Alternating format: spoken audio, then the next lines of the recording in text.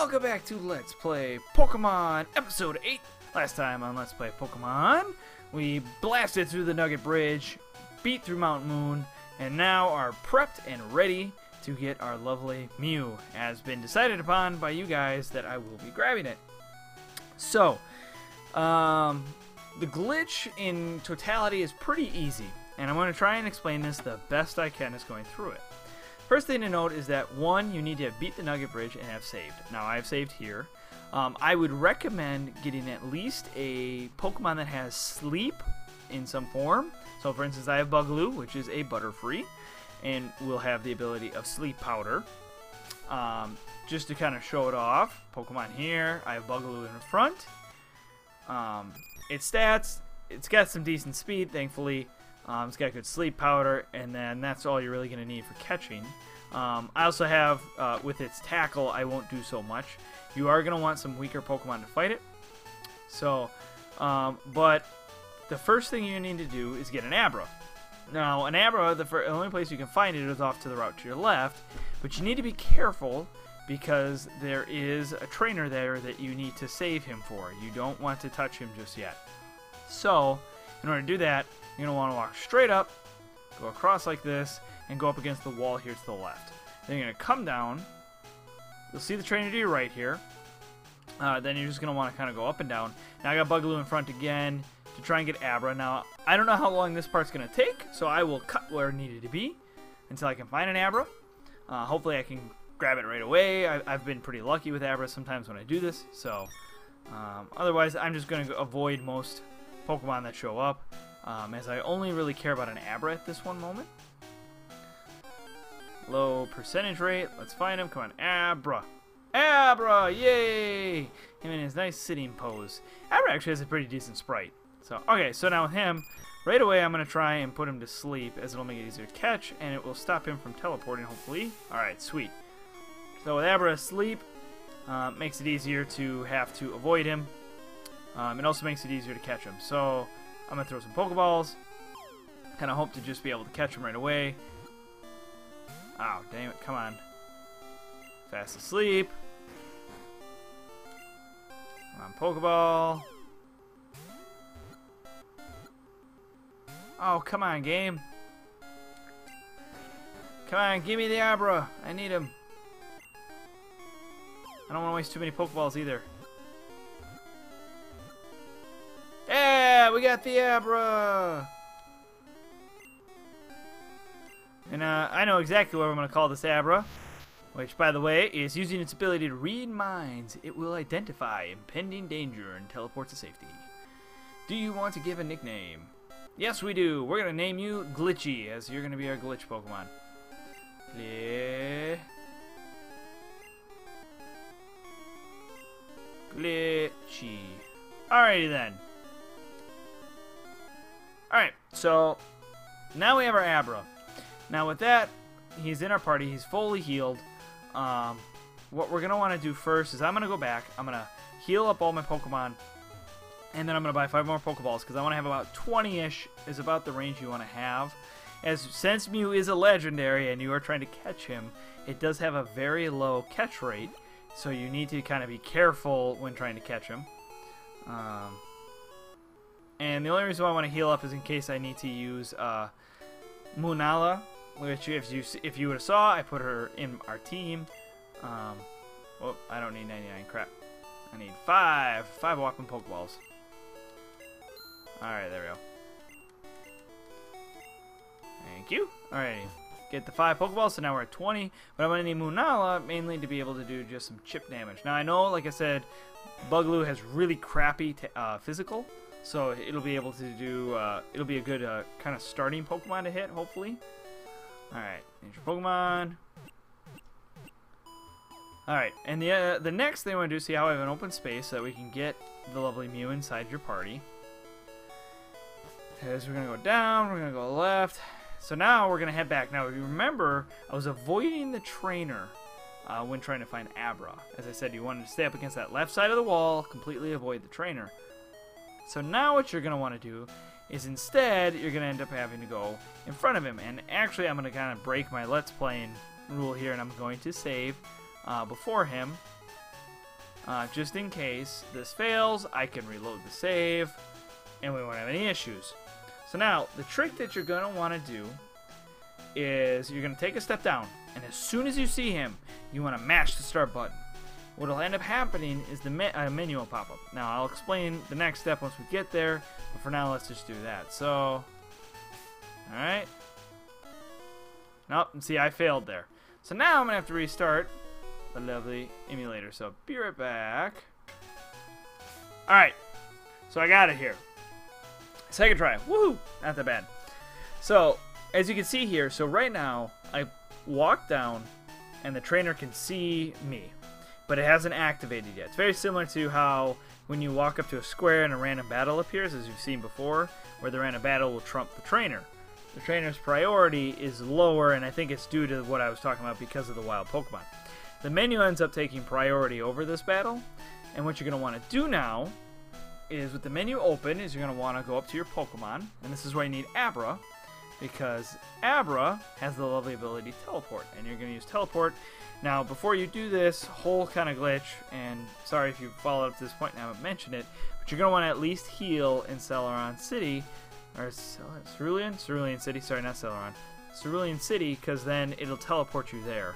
And that's where you kind of want to be for this to kind of happen. So you want to teleport, it's going to warp you to the last Pokemon Center, which should, and you'll see here the battle initiates, but then we take off.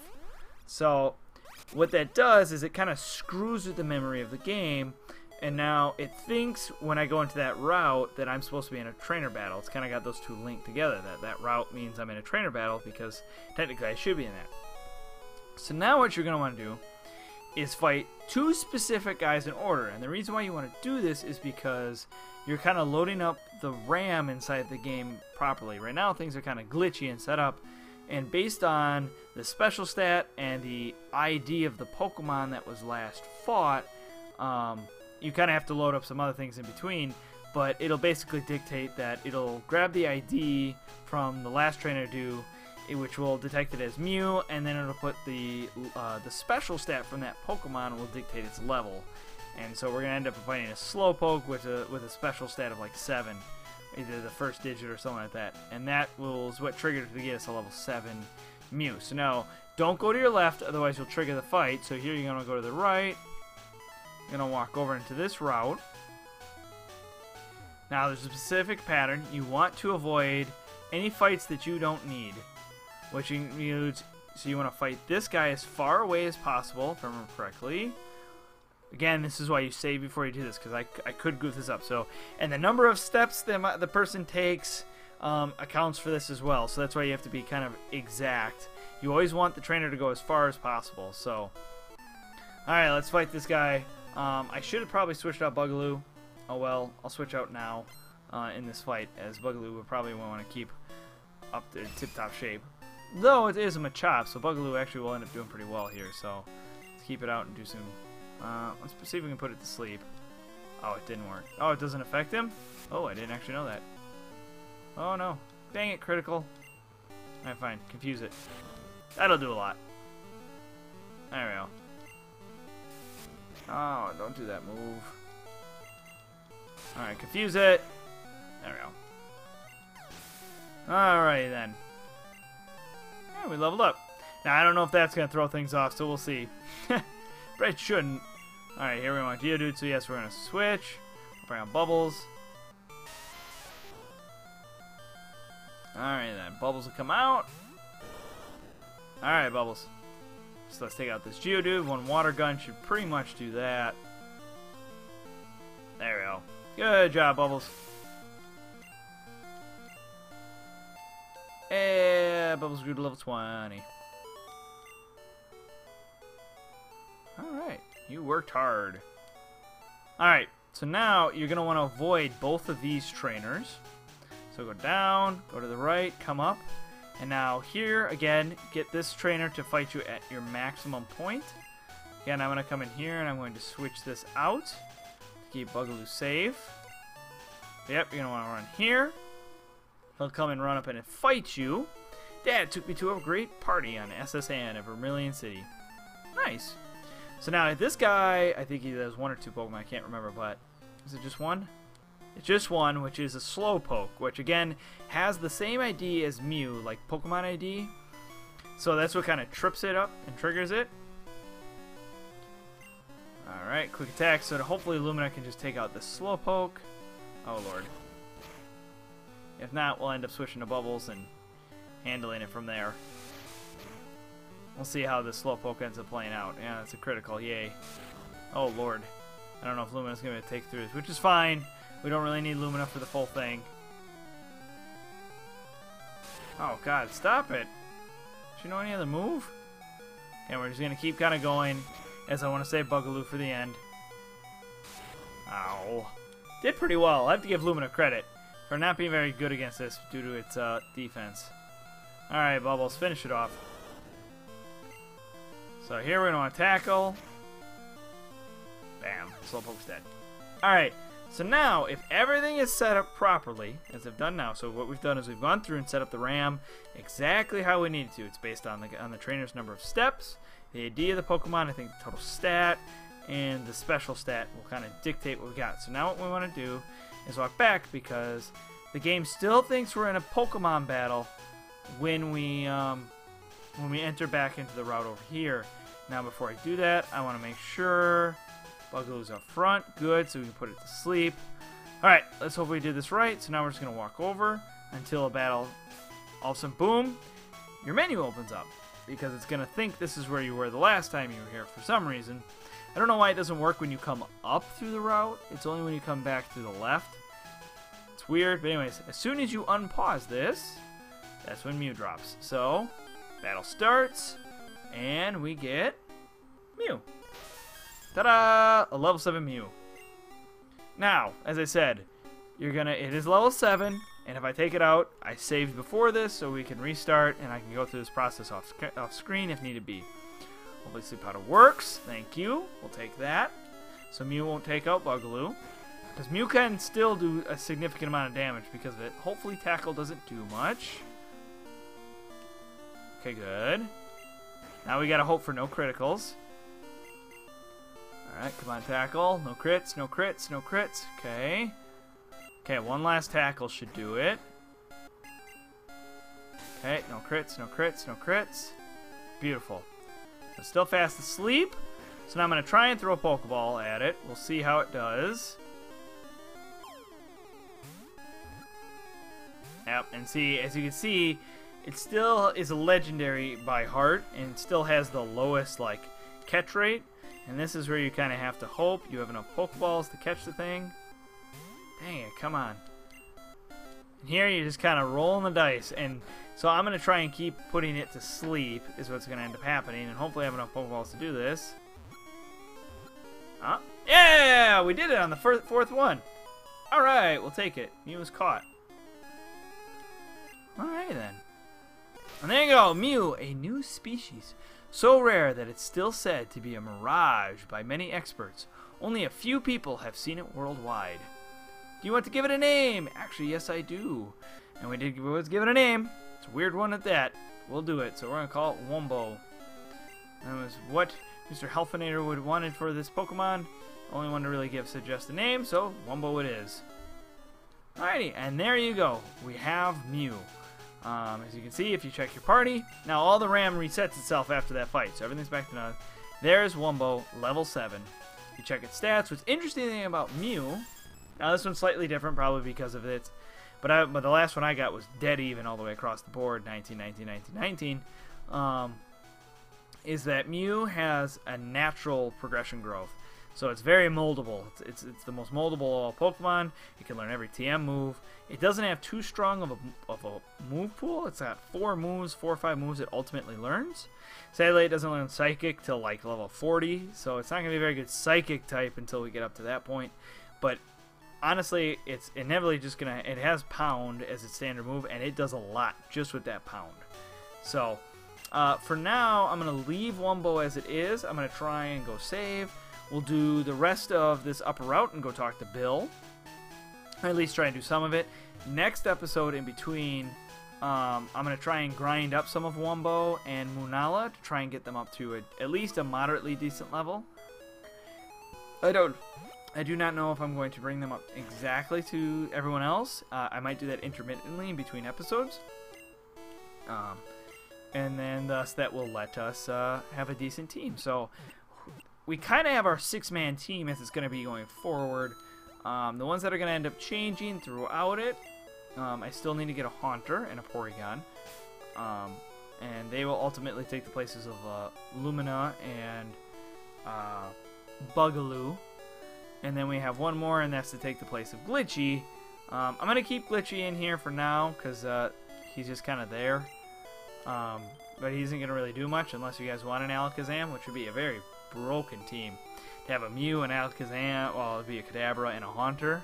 Those three together, just utter brokenness. So, probably going to put a Rhyhorn in for, for Glitchy, and that'll kind of round out the team to be something at least, I say, it's nowhere near competitive, but at least we'll do something that way. So, Alright, so with the way it is, I think, yeah, we're going to leave Lumina up above, so hopefully we can get a Pidgeotto. That's what I'm hoping for. But we're going to go finish up, I think it's Route 23 or something like that, if I remember correctly. Um, and that should bring us to the end of the episode, at least. So, alright, let's work our way. Nugget, Nugget Bridge. You know, too many battles. I have like three to go up here, if I remember correctly. I know this item to the left that I didn't get. So let's grab that right away. Alright, found TM45. I wish you'd tell me what the TMs were. But I do plan to give Mew, ultimately we're going to kind of stack Mew up with some TMs, so it actually becomes useful, and just being useless. So, alright, what do you got? Local trainers, come here to practice. Alright, whoosh, whoosh, whoosh, whoosh, whoosh. Alright, little guy. Youngster, let's fight him.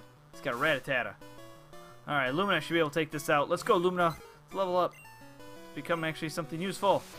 As much as it becomes Pidgeotto, it actually gets some decent stats. Oh, no, no, Tail Whip. Quick, take it out, Lumina, before it tries to do any damage. Yeah. Ah, didn't level up, I was hoping. Alright, we got a Spearow. Let's keep our, our guy out. Keep quick attacking. Come on. Alright, good. Hey, they're just going to keep lowering the defense. We will keep taking priority and finish off that Spearow. Go, go, go. Yeah. Look at that. Just sweep them. Sweep the team. And we get level 18. Woohoo. Go, Pidgeotto. Alright, speed high. Good attack. And we should get a nice evolution here. We got that. And what? Lumina's evolving. Yes. Alright.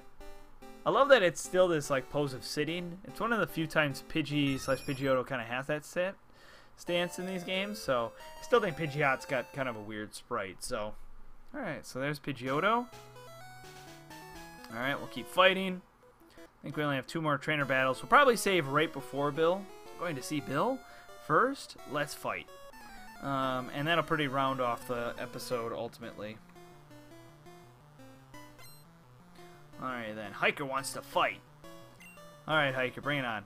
Oh crap, it's got an Onix. Pidgeotto, not very good against Onix.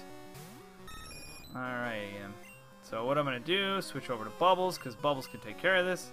And like I said, so I'm ultimately going to add Geodude back in for Glitchy, which is Rosa, I think I named it. Rosa, right? Rosa will enter the enter the fray um, as our as our rock ground type. Kind of train that up. I'm going to train those three in between these episodes so we can have a somewhat viable team going forward.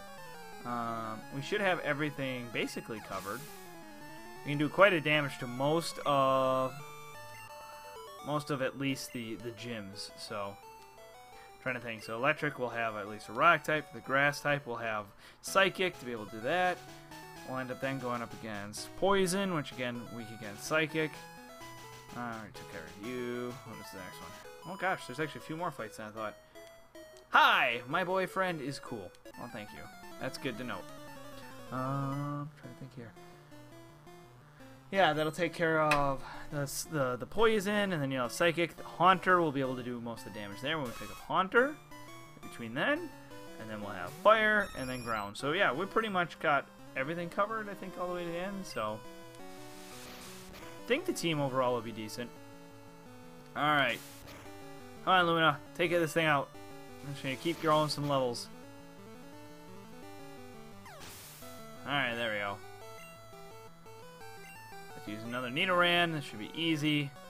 And I think actually I'll probably end it after this fight. I need to keep us within a decent amount of time. Ah! As the last one was a little bit long, so just kind of work with what we have. There we go, take out that Nidoran. So, thank you guys for watching. Please like, comment, subscribe. Next time on Let's Play Pokemon Blue, um, we're going to go see Bill, and then we'll take on the Cerulean City Gym. And uh, from there, we'll be poised to start working our way south. So, thank you guys for watching. I'll see you guys next time. Bye-bye!